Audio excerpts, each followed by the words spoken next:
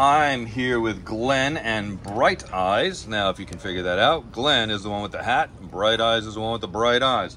Bright Eyes is one year, one month, maybe an Alaskan Husky or Alaskan Husky mix. Female came in on 728 of this year as a stray. I don't see that she's spayed yet, but she will before she goes out.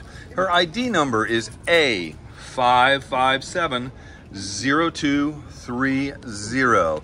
And Glenn is going to tell us a little bit more about Bright Eyes. So she's really cute. She's uh, a bit small for her breed, and being about a year, a little over a year old, she's probably not going to be getting any bigger, but she still has a little bit of that puppy energy. But all that said, she's actually really easy to walk on a leash, which is pretty uncommon for the breed. Uh, quite playful, very affectionate, uh, already knows sit, so she's very uh, treat motivated and also toy motivated, uh, and also prone to just kind of chilling out and relaxing. So she's pretty good, uh, I'd say, on the lower energy end of the spectrum for the you know this breed of uh, husky. Um, but you know, just like all huskies, is going to need a lot of uh, energetic engagement, a lot of exercise. Uh, you know, a good experienced uh, handler uh, to do you know work through the training. Um, like I said, she already knows sit.